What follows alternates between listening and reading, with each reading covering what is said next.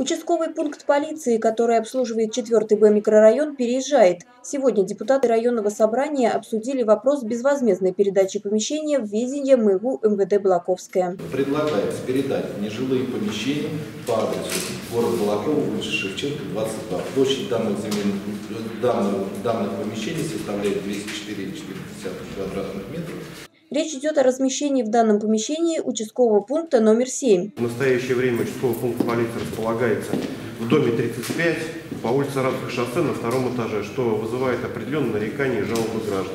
Поэтому просим вас перенести э, вышеуказанный адрес по улице, э, в дом 22 по улице Шевченко, для того, чтобы, э, во-первых, исключить нарекания, это будет расположено на первом этаже для удобства посещения и организации работы участкового пункта полиции. Депутаты единогласно одобрили переезд пункта полиции, так что в скором времени жители 4 Б микрорайона смогут обращаться к участковому по новому адресу улица Шевченко, 22.